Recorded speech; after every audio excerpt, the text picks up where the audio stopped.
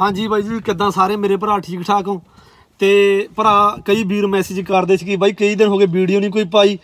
ਕਿਉਂ ਚਲੋ ਅੱਜ ਹਾਸਾ ਮਜ਼ਾਕ ਕਰਦੇ ਆ, ਕੋਈ ਕੋਈ ਵੀਡੀਓ ਨੂੰ ਗਲਤ ਨਾ ਲਿਓ। ਜਿਹੜੀ ਅਗਲੀ ਵੀਡੀਓ ਆਊਗੀ ਉਹ ਕ੍ਰੋਏਸ਼ੀਆ ਕੰਟਰੀ ਦੇ ਉੱਪਰ ਆਊਗੀ ਤੇ ਇੱਕ ਇੰਗਲੈਂਡ ਕੰਟਰੀ ਦੇ ਉੱਪਰ ਆਊਗੀ ਅਗਲੀ ਵੀਡੀਓ ਇਨਫੋਰਮੇਸ਼ਨ ਵਾਲੀ। ਇਹ ਹੈਗਾ ਯੂਰੋਪੀਅਨ ਗਰਲ ਪਾਰਟ 3 ਦੀ ਵੀਡੀਓ ਚਲੋ ਅੱਜ ਫਨ ਸ਼ਨ ਕਰਦੇ ਆ, ਘਰੇ ਸੀ ਮੈਂ ਵੀ ਕੋਈ ਤੁਹਾਨੂੰ ਚਾਰ ਨੌਲੇਜ ਦੀਆਂ ਗੱਲਾਂ ਦੱਸਦਾ। ਪਹਿਲਾਂ ਤਾਂ ਮੈਂ ਦੱਸਣਾ ਚਾਹਣਾ ਕਿ ਕਈ ਬੰਦੇ ਮੇਰੇ ਬਾਰੇ ਪੁੱਛਦੇ ਨੇ, ਬਈ ਤੂੰ ਆਪਣੇ ਬਾਰੇ ਵੀ ਦੱਸਿਆ ਕਰ ਕੁਛ। ਤੇ ਮੇਰੇ ਬਾਰੇ ਦੱਸਣ ਚ ਬਈ ਕੋਈ ਖਾਸ ਨਹੀਂ ਹੈਗੀ ਗੱਲ, ਹਨਾ?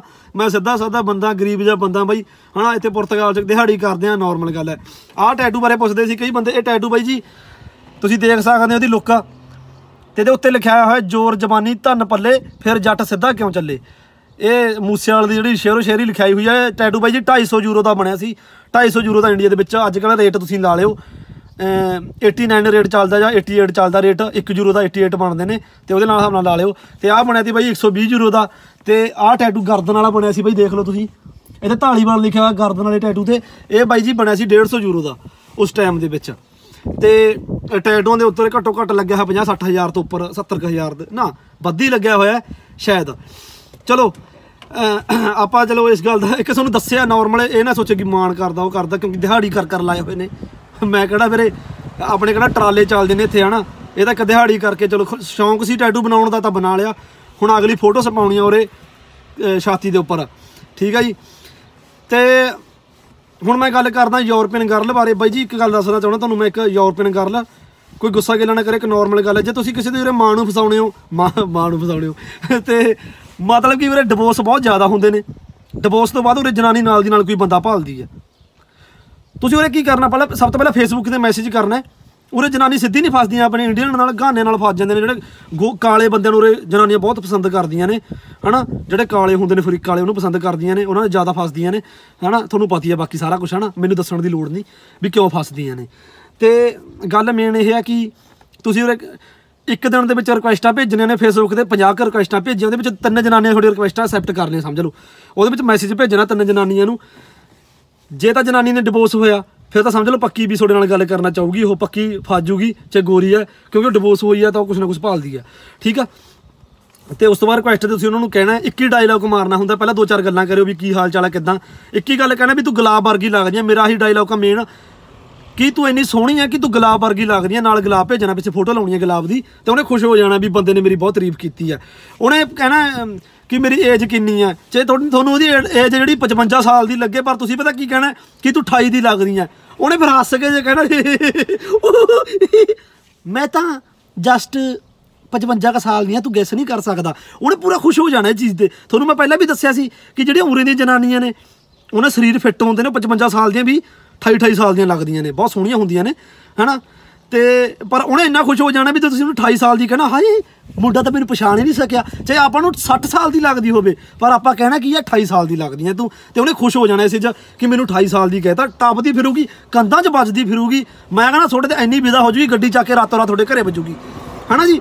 ਤੇ ਕੰਧਾਂ 'ਚ ਵੱਜਣੀ ਆ ਉਹਨੇ ਜੇ ਤੁਸੀਂ 28 ਸਾਲ ਦੀ ਕਹਿੰਦਾ 55 ਸਾਲ ਦੀ ਨੂੰ।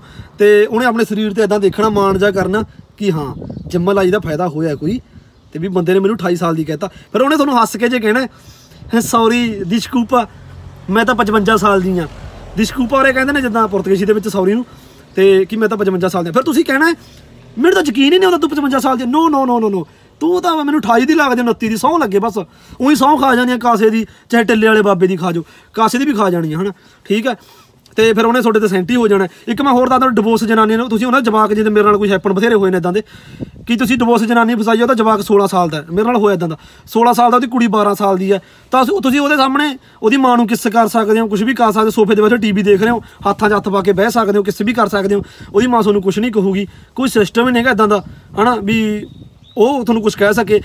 ਬਲਕਿ ਜੇ ਤੁਸੀਂ ਉਹਦੀ ਹੱਦ ਕਿ ਜੇ ਤੁਸੀਂ ਮਾਂ ਨੂੰ ਛੱਡਦੇ ਹੋ ਤਾਂ ਉਹਦਾ ਮੁੰਡਾ ਤੁਹਾਨੂੰ ਮੈਸੇਜ ਕਰੂਗਾ ਆਪ ਕਿ ਤੁਸੀਂ ਮੇਰੀ ਮਾਂ ਛੱਡਤੀ ਤੂੰ ਮੇਰੀ ਮਾਂ ਛੱਡਿਆ ਮੇਰੀ ਮਾਂ ਨੂੰ ਦੁਬਾਰਾ ਮਿਲ ਕਿ ਉਹ ਤੇਰੇ ਬਿਨਾਂ ਰਹਿ ਨਹੀਂ ਸਕਦੇ ਉਹ ਰੋ ਰਹੀ ਆ ਹੁਣ ਐਦਾਂ ਦਾ ਇਹ ਮੇਰੇ ਨਾਲ ਬਹੁਤ ਕੁਝ ਹੋਇਆ ਜ਼ਿੰਦਗੀ ਦੇ ਵਿੱਚ। ਤੇ ਇਹ ਨਾਰਮਲ ਗੱਲ ਆ ਮੈਂ ਗੋਰਿਆਂ ਦੇ ਘਰੇ ਜਾਂਦਾ ਰਹਿਣਾ ਆਮ ਕਰਕੇ ਜਨਾਨੀਆਂ ਕੋਲ। ਉਹ ਕਈ ਗੱਲਾਂ ਨੇ ਇੱਕ ਨਾਰਮਲ ਗੱਲਾਂ ਨੇ ਮੈਂ ਜਾਂਦਾ ਰਹਿੰਦਾ ਸੀ। ਤੇ ਉੱਥੇ ਜਾ ਕੇ ਪਤਾ ਉਹਨਾਂ ਦੇ ਜਵਾਕਾਂ ਦਾ ਕੀ ਸਿਸਟਮ ਦੇਖਿਆ ਮੈਂ। ਜੇ ਉਹਦੀ ਮਾਂ ਨੇ ਜਵਾਕ ਨੂੰ ਕਹਿਤਾ 16 ਸਾਲ ਦਾ ਜਿਵੇਂ ਉਹਦਾ ਮੁੰਡਾ ਉਹਨੇ ਮਾਂ ਨੇ ਕਹਿਤਾ ਜਵਾਕ ਨੂੰ ਕਿ ਤੂੰ ਐਦਾਂ ਕਰਦਾ ਹੈ, ਹਨਾ? ਤੂੰ ਆਹ ਕਰ ਰਿਹਾ ਉਹਨੂੰ ਗਾਲ ਕੱਢਤੀ ਉਹਨੇ ਬਰਾਬਰ ਗਾਲ ਕੱਢ ਦੇਣੀ ਆਪਣੀ ਮਾਂ ਨੂੰ ਵੀ ਤੂੰ ਕੌਣ ਹੁੰਨੀ ਆ? ਉਹਦੀ ਆਪਣੀ ਮਾਂ ਨੂੰ ਸਿੱਧੀਆਂ ਗੱਲਾਂ ਕਹੀ ਜਾਣੀਆਂ ਜਿਹੜੇ ਆਪਾਂ ਨਾਰਮਲ ਜਿਹੜੀਆਂ ਆਪਾਂ ਜ਼ਿੰਦਗੀ ਦੇ ਵਿੱਚ ਗੱਲਾਂ ਉਰੇ ਆਪਾਂ ਇੰਨਾ ਸ਼ਰਮ ਕਰਦੇ ਕਰਦੇ ਹੋਏ, ਕਿਸੇ ਦੇ ਵੀ ਸਾਹਮਣੇ ਆਪਾਂ ਗੱਲ ਨਹੀਂ ਕਰ, ਆਪਦੀ ਘਰ ਵਾਲੀ ਮੂਹਰੇ ਇਦਾਂ ਦੀਆਂ ਗੱਲਾਂ ਨਹੀਂ ਕਰ ਸਕਦੇ, ਜਿੱਦਾਂ ਉਹਦੇ ਜਵਾਕ ਆ, ਉਹਨੇ ਆਪਣੀਆਂ ਮਾਵਾਂ ਸਾਹਮਣੇ ਕਰਦੇ ਨੇ ਮੈਨੂੰ ਇਹ ਸਿਸਟਮ ਇਹਨਾਂ ਦਾ ਬਿਲਕੁਲ ਵਧੀਆ ਨਹੀਂ ਲੱਗਦਾ, ਕਿਉਂਕਿ ਇੰਨੀਆਂ ਭੈੜੀਆਂ ਗੱਲਾਂ ਕਰਦੇ ਨੇ ਸੈਕਸੀ ਗੱਲਾਂ ਕਰਦੇ ਨੇ ਉਹ ਉੱਥੇ, ਹਨਾ? ਤੇ ਆਪਦੀ ਮਾਂ ਜਮੀ ਸ਼ਰਮ ਨਹੀਂ ਕਰਦੀ, ਮੈਂ ਦੇਖਿਆ ਚੀਜ਼ਾਂ, ਕਿ ਯਾਰ ਮੇਰਾ ਮੁੰਡਾ ਆ ਬੋਲ ਰਿਹਾ ਬੋਲ ਰਿਹਾ, ਨਾ, ਸੋ ਨਾਰਮਲ ਚੀਜ਼ਾਂ ਨੇ ਇਹਨਾਂ ਲਈ। ਆਪਦੀ ਮਾਂ ਨੂੰ ਕਿ ਜੇ ਤੂੰ ਪੋਰਨ ਦੇਖਿਆ ਨੇ, ਤੂੰ ਪੋਰਨ ਕਿਉਂ ਦੇਖਦੀ ਆ, ਤੂੰ ਆਹ ਕਿਉਂ ਕਰਦੀ ਆ, ਆਹ ਕਿਉਂ ਕਰਦੀ ਆ, ਇਹ ਗੱਲਾਂ ਇੱਥੇ ਲਈ ਨਾਰਮਲ ਨੇ। ਤੇ ਉਹਨੇ ਮਾਂ ਸਾਹਮ, ਕਿਸ ਕਰੀ ਜਾ, ਉਹਦੀ ਮਾਂ ਨੂੰ ਸਾਹਮਣੇ ਤੇ ਬੈੱਡਾਂ ਤੇ ਫੜ ਕੇ ਲੈ ਜਾ ਮੁੰਡੇ ਦੇ ਸਾਹਮਣੇ। ਕੋਈ ਟੈਨਸ਼ਨ ਨਹੀਂ ਜਵਾਕਾਂ ਨੂੰ, ਭੈਣ ਕਢਾਵੇ ਮਾਂ। ਮਾਂ ਨੂੰ ਕੋਈ ਪਤਾ, ਉਹਨਾਂ ਨੂੰ ਚਿੰਤੀ ਨਹੀਂ। ਉਹਨੂੰ ਪਤਾ ਮੇਰੀ ਮਾਂ ਦਾ ਡਿਵੋਰਸ ਹੋਇਆ, ਜੋ ਮਰਜ਼ੀ ਕਰਦੀ ਵੀਰੇ ਉਹਨਾਂ ਨੇ ਆਪਣੀ ਜ਼ਿੰਦਗੀ ਜਿਉਣੀ ਆ 18 ਸਾਲ ਤੋਂ ਬਾਅਦ, ਜਵਾਕਾਂ ਨੇ। 16 ਸਾਲ 17 ਸਾਲ ਤੱਕ ਆਪਣੀ ਮਾਂ ਦੇ ਕਾਬੂ 'ਚ ਹੁੰਦੇ ਨੇ, ਜੋ ਮਾਂ ਕਹੂਗੀ ਉਹੀ ਕਰਨਾ ਪੈਂਦਾ। ਉਹ ਤੋਂ ਬਾਅਦ 18 ਸਾਲ ਤੋਂ ਬਾਅਦ ਆਪਣੀ ਮਾਂ ਨੂੰ ਵੀ ਨਹੀਂ ਛੇਤੀ ਪੁੱਛਦੇ, ਛੇਤੀ ਮਤਲਬ ਕਿ ਗੱਲਬਾਤ ਨਹੀਂ ਏਡੀ ਕਰਦੇ।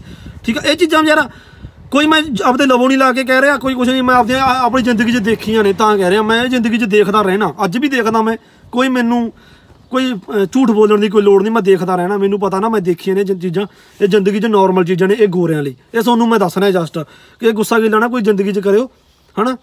ਠੀਕ ਹੈ ਜੀ? ਬਾਕੀ ਲਵ ਜੋ, ਅਗਲੀ ਵੀਡੀਓ ਯਾਰ ਬਣਾਵਾਂਗੇ ਇੰਗਲਾ ਤੇਰਾ ਤੇ ਇੰਗਲਾ ਤੇਰਾ ਕਹਿੰਦੇ ਨੇ ਉਰੇ ਇੰਗਲੈਂਡ ਨੂੰ, ਜਿੱਦਾਂ ਓਲਾ ਕਹਿੰਦੇ ਨੇ, ਓਏ, ਓਲਾ ਕਹਿੰਦੇ ਨੇ ਹੈਲੋ ਨੂੰ, ਤੇ ਕਮਿਸਤਾਸ ਕਹਿੰਦੇ ਨੇ, ਕਮਿਸਤਾ ਇਹ ਕਹਿੰਦੇ ਨੇ ਵੀ ਕਿੱਦਾਂ ਤੁਸੀਂ ਸਾਰੇ ਇਹ ਚੀਜ਼ਾਂ ਯਾਰ ਸਿੱਖਣੀਆਂ ਤੁਹਾਡਾ ਬਣਦਾ ਫਰਜ਼ ਆ। ਆਪਾਂ ਤੁਹਾਨੂੰ ਲੈਂਗੁਏਜ ਵੀ ਦੱਸਿਆ ਕਰਾਂਗੇ ਨਾਲ ਨਾਲ ਕੀ ਬਣਦੀ ਆ।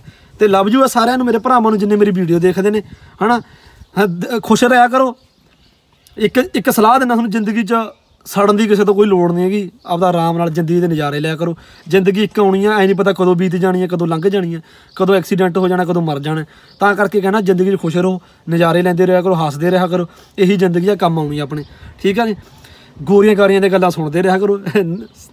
ਹਾਂ ਬਾਥਰੂਮ 'ਚ ਘੱਟ ਜਾਇਆ ਕਰੋ, ਇਹ ਮੈਂ ਤੁਹਾਨੂੰ ਦੱਸਦਾ। ਫਿਰ ਜ਼ਿੰਦਗੀ 'ਚ ਬਾਅਦ 'ਚ ਇਹ ਵੀ ਨਹੀਂ ਕੰਮ ਆਉਣੀ, ਕਿਉਂਕਿ ਇਹ ਚੀਜ਼ ਦਾ ਇੱਕ ਮੁੱਲ ਹੈ, ਬਸ ਇਹੀ ਚੀਜ਼ ਆਪਣੀ ਰਹਿਣੀ ਹੈ।